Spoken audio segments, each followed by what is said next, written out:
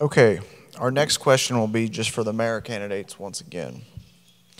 The Linton Redevelop Com- Develop Commission has recently started collecting funds from the TIF district that was created 10 plus years ago. Can you share what you would like to see the Development Commission use those funds for? Please keep in mind these funds must be spent in the current TIF district. Yeah, TIF districts, I mean, TIF stands for tax, taxable ad- incremental financing.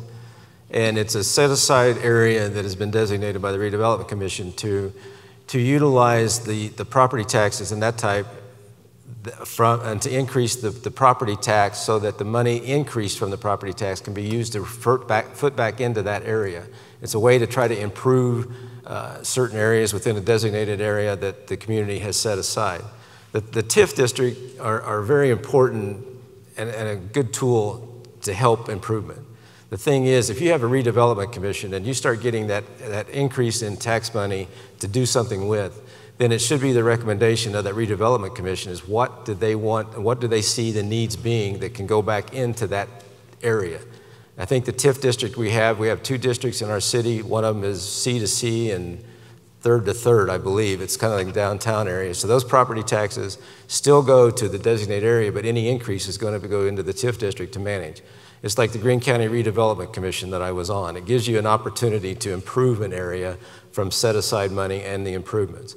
So it has to be with input from the city hall. It has to be done with the city, with the redevelopment commission's input into what they see those needs can be done with that money available.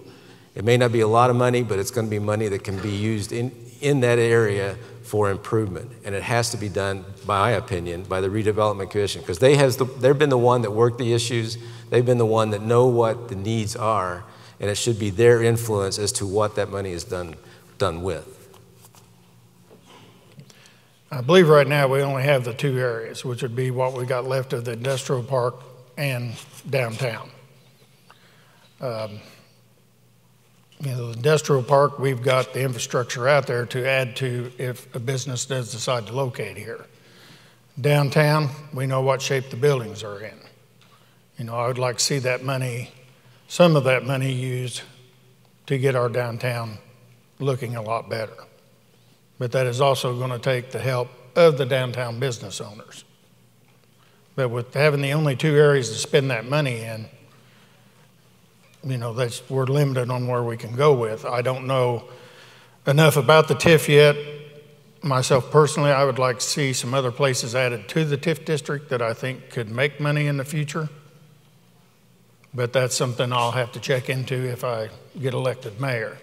Uh, my view in this area, right now, we better focus on what we have here, which is our outdoors, our conservation club, Sunset Park, state bird riding areas, things like that. We are an outdoor community. And that's what I would like to see some of these areas maybe get added into an area. But it does have to show economic potential for economic growth, or that will hurt your TIF district. So that's something I'm working on. I don't have the answers for you tonight on it, but that's the plan I've got for it.